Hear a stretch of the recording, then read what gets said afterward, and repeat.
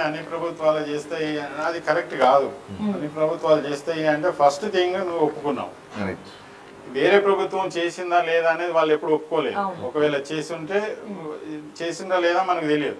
కానీ ఇతనైతే ఒప్పుకున్నాడు.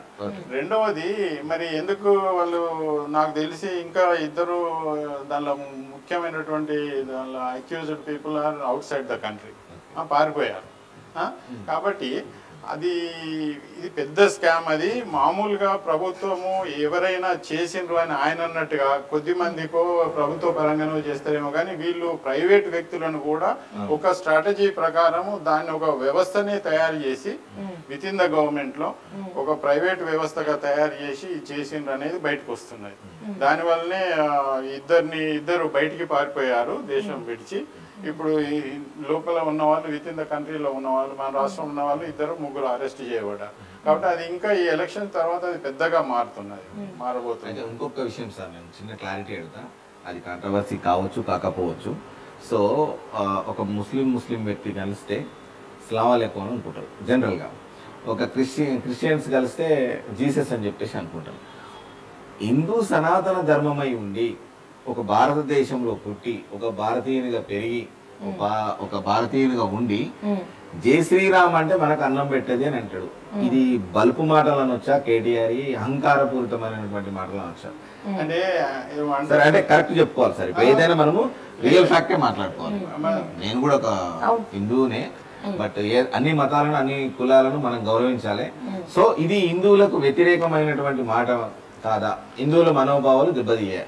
First thing ఒకటి అంటే వాళ్ళు ఆ స్టేజ్లో ఉన్నారు ఫ్రస్ట్రేషన్ స్టేజ్లో ఉన్నారు. ఏమైనా మాట్లాడడానికి అంటే ఏదైనా మాట్లాడవచ్చా ఫ్రస్ట్రేషన్ స్టేజ్లో ఈ మాట్లాడవచ్చా అంటే మన దేశంలో అంత ఫ్రీడమ్ ఉన్నది ఇప్పటి వరకు అయితే ఇంకా తర్వాత ఏం జరగబోతుంది అనేది పబ్లికే వాళ్ళని వాళ్ళకి తప్పేముంది సార్ జై శ్రీరామ్ అంటే తప్పేముంది చెప్పండి. తప్పేం లేదు హండ్రెడ్ పర్సెంట్ అనవచ్చు మరి ఆయన. అహంకారపూరితమైనటువంటి మాటలు అలాంటి ఆయన ఏంది అంటే ఇప్పుడు వే అంటే బీజేపీ ఎలా అయితే ఈ రాష్ట్రంలో ఎదుగుతున్నదో ఇప్పుడు మామూలుగా కాంగ్రెస్ లాంటి పార్టీలను ఎప్పుడైనా కూడా మళ్ళీ టేక్ ఓవర్ చేయొచ్చు అనేటువంటి ఉద్దేశాలు ఉంటాయి వీళ్ళకు.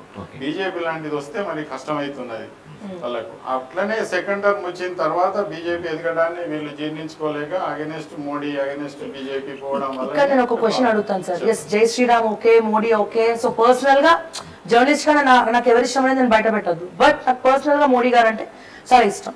కానీ ఒకటే ఒక క్వశ్చన్ దేశంలో ప్రజాస్వామ్యం నిలబడిపోతుందా? అంటే కనుమరుగు అవ్వబోతోందా అన్న క్వశ్చన్ రేజ్ అయిన సందర్భంలో ప్రజల తరపున నేను అడుగుతున్నటువంటి క్వశ్చన్ ఇది.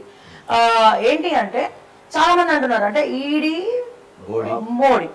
ఈడీ సిబిఐ త్రివిధ దళాలను అడ్డు పెట్టుకొని ప్రతి ఒక్క పార్టీని బ్లాక్మెయిల్ చేసి వాషింగ్ పౌడర్ నిర్మా చెప్పాలి అంటే సో ఈ రోజు స్కామ్ బయటపడినాడు నెక్స్ట్ డే బీజేపీలో ఎట్లా జాయిన్ అవుతున్నాడు కండవాలు కప్పుకొని? వాళ్ళకి ఈడీ నోటీసులు సిబిఐ నోటీసులు పోయిన తర్వాత ఏ రకంగా మళ్ళా బీజేపీలో జాయిన్ చేసుకుంటున్నారు? నిజంగా వాళ్ళు నీతిమంతులు అయితే బీజేపీ ఎందుకు జాయిన్ చేసుకుంటుంది?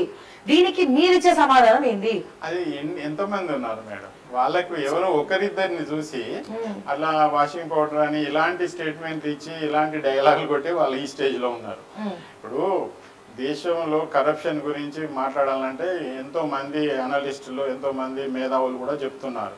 మోడీ గారి ప్రభుత్వంలో కరప్షన్ ఎలా ఉన్నది? అసలు జీరో కరప్షన్ ఇంతకు ముందు ఏ టు జీ స్కామ్లు అనేవి మనం పేపర్లలో చూస్తూనే ఉన్నాం కదా.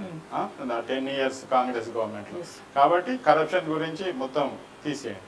ఇక ఈడీ వీటి చేయడం అంటే అప్పుడు వేరే ప్రభుత్వాలు ఉన్నప్పుడు కూడా అపోజిషన్ వాళ్ళు ఇదే అన్నారు. కానీ నాకు ఉన్న ఇన్ఫర్మేషన్ నాకు కొందరు ఫ్రెండ్స్ ఉన్నారు. అంటే ఈ పోలీస్ డిపార్ట్మెంట్లో కానీ సిబిఐలో వాళ్ళు పనిచేసే వాళ్ళు రిటైర్ అయిన వాళ్ళు ఓపెన్గా చెప్తారు కదండి. అందులో ప్రభుత్వాల ప్రమేయం చాలా తక్కువగా ఉంటుందండి. One two percent one two కేసులోనే వాళ్ళు ఏదో కొంత అడ్వైజ్ చేయడానికి ట్రై చేస్తారు. కానీ అది మోడీ గారి ప్రభుత్వంలో మాత్రం ఇప్పటికీ జీరో అనేది వాళ్ళు చెప్పున్న విషయం.